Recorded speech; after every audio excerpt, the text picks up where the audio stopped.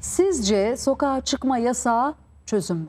e, belli noktada olabilir. Yani önlemleri alırken e, eğer ki işte mesela basamak basamak koyuyorsunuz ya mesela birdenbire demin anlattığım şeyler nedeniyle hani sosyal boyutu nedeniyle olayın e, sokağa çıkma yasağını birdenbire koyamıyorsunuz. Ama eğer salgın hız, hız kesmezse Türkiye'de yani e, dik çıkışına devam ettirirse elbette ki e, sokağa çıkma yasağı da bir önlem olarak konulacaktır.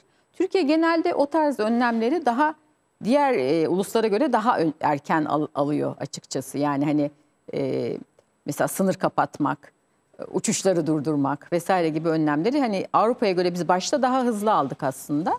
Burada da daha hızlı alınıyor gibi.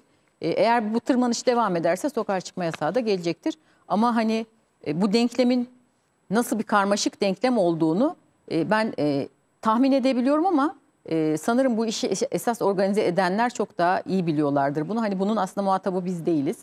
Biz hekimler ya da bilimsel danışma kurulu olarak biz mesela e, nasıl diyeyim insanların sokağa çıkmasını engelleyin diyebiliriz. Ama bunun detaylandırılması nasıl yapılacağının e, yap- organizasyonu yapan ya da uygulayıcı olan kişi e, en üst işte Sağlık Bakanlığı olmuş oluyor. E, onlara sormak lazım bu soruyu. Çünkü çok boyutlu bir, e, çok e, bilinmeyenli bir denklem bu.